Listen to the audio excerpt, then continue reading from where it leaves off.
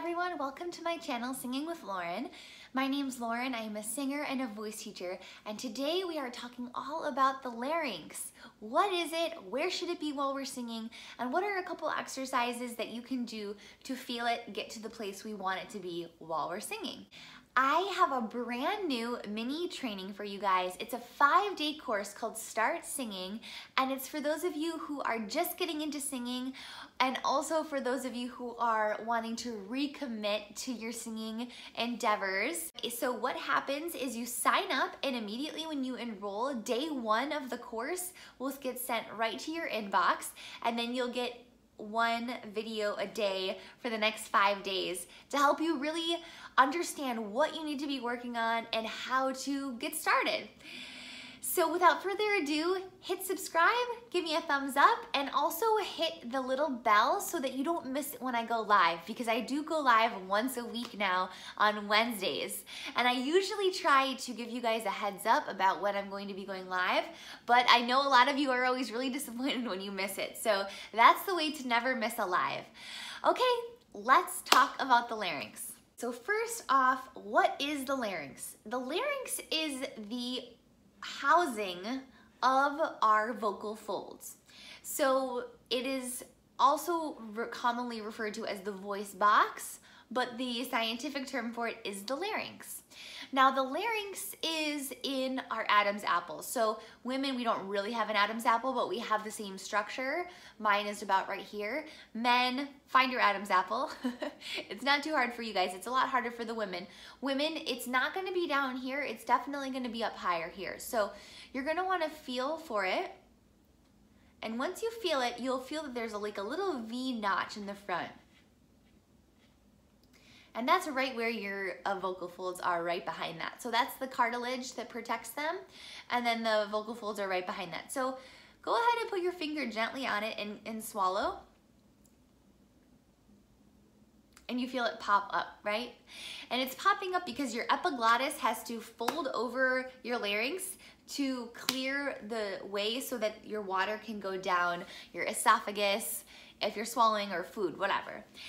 So the way that we make sound, right, is that air is coming up through our trachea and then it goes a little bit forward in through the larynx, right? So this is happening whether or not we're singing. It's also happening if we're just silently breathing, but the air is always passing up through that way.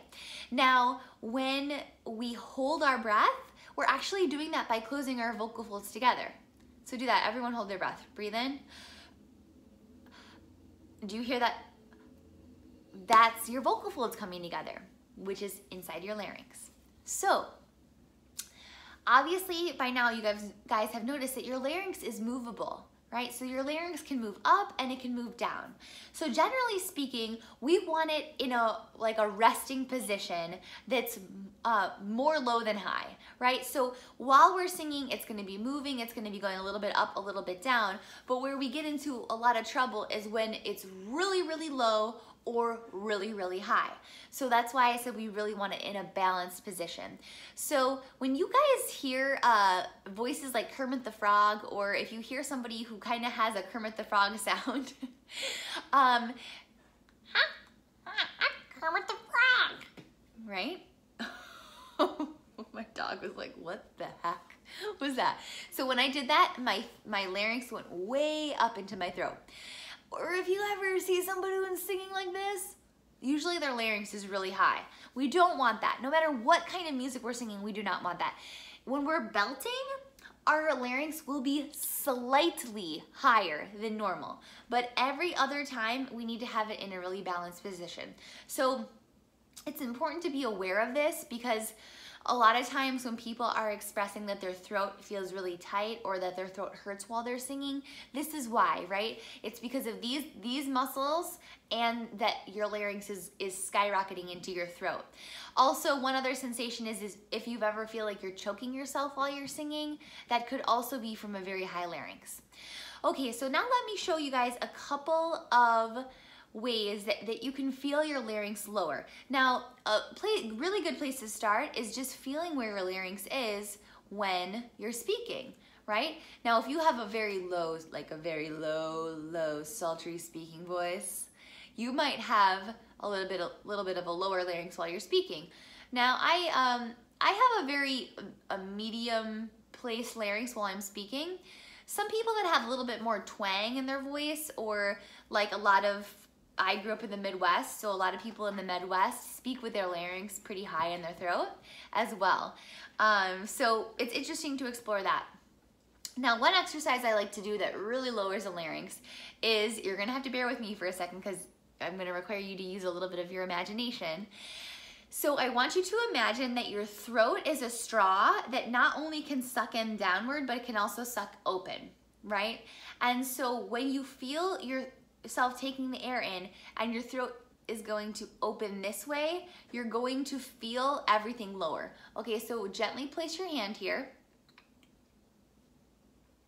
Exhale first. Now slowly inhale.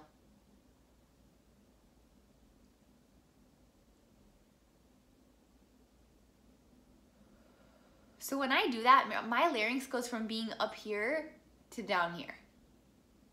Did you feel it? Let's try that again. Exhale. Inhale.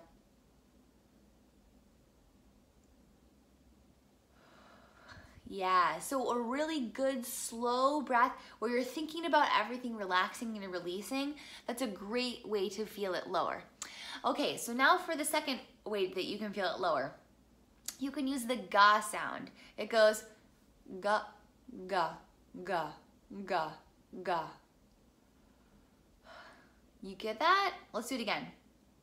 Now, remember, I'm not doing this really loudly. I'm not going ga, ga, ga, ga, ga, right? That's not gonna work. It's a ga, ga, ga, and you feel it come down. Ga, ga, ga, ga. Make sure you're feeling everything remain relaxed as well.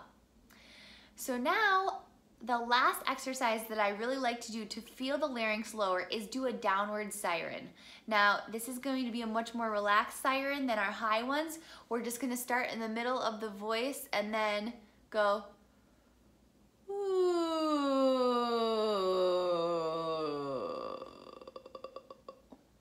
Okay, did you feel it lower? Let's try that again.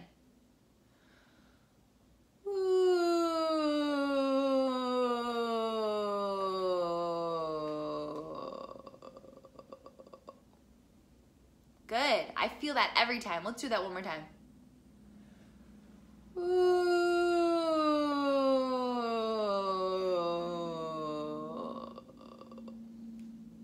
There you go. Now your larynx is low and it's relaxed. Lastly, something that you can do to kind of relax these muscles is very, very gently, gently take your two fingers here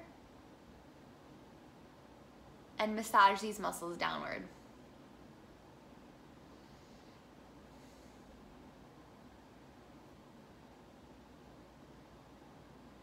That kind of helps just the surrounding muscles but doesn't necessarily lower your larynx, right? so, but sometimes everything is so connected that these muscles get tense too and then you just need a little relaxation downward. But remember, everything in your throat's really sensitive, so be gentle. Okay, so lastly, I just wanna say that while you're singing, your larynx is, like I said, moving a little bit up and a little bit down. So it's gonna be tough for you guys to notice at first if your larynx is too high or too low. But while you, when you do these exercises, you're gonna become more acquainted with what your larynx actually feels like. And then you're gonna be able to ask yourself, okay, is my larynx like skyrocketing when I'm singing? Is it too low? Or do I feel like I have pretty good control over it? And when uh, the majority of the time, the answer is gonna be if if it's if it's not where you want it to be, the answer is going to be that it's way too high. And so that's when you can go back to these exercises to get it to lower, to get it to settle, and to be more in a more relaxed position where it will feel much more comfortable to sing. So I hope this guys an this answers some of your guys' questions about the larynx. I know that uh, this is kind of a topic that has a lot of question marks around it. So if you guys want me to make more videos about the larynx, I'd be happy to. Just let me know in the comments. So please hit subscribe and I'll talk to you guys so soon. Thanks for tuning in today.